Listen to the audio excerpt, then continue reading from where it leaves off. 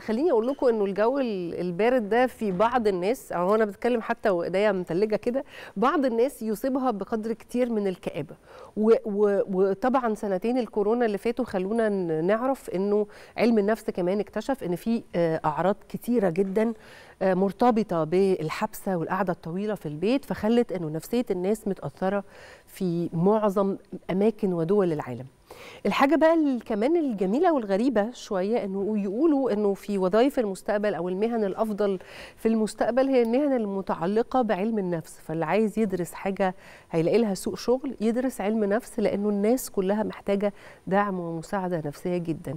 ليه بقى بقول المقدمة الطويلة الكبيرة دي عن البرد والكآبة والكورونا؟ لأنه الحقيقة إنه في كمان بدأت دلوقتي تدريبات كتير الناس بتعلمها لنفسها ليها دعوة بأنه طو- طول الفترة اللي قاعدة في البيت إزاي تكون منتجة وإزاي تخرجك من الوضع ده من الاكتئاب. واحدة من الأفكار دي حاجة كده لطيفة اسمها إنه كآبة الفوضى. لو أنت حواليك مكان فيه فوضى وفي عدم ترتيب وملخبط ومكركب بلغتنا إحنا كده بي بيصيبك كمان بحالة زيادة سلبية من الاكتئاب. وعشان كده بينصح كتير من الناس بيقول لك إنه أرخص علاج نفسي إنك وأنت قاعد في البيت وأرخص طريقة للدفى بالمناسبة إنك وأنت قاعد في البيت ترتب حاجات. فكل ما بترتب حاجات يعني ملموسة كده بإيدك كل ما بتزيد طاقتك وقدرتك على الإنجاز وفي نفس الوقت بتحس بحالة كده من الهدوء والسلام.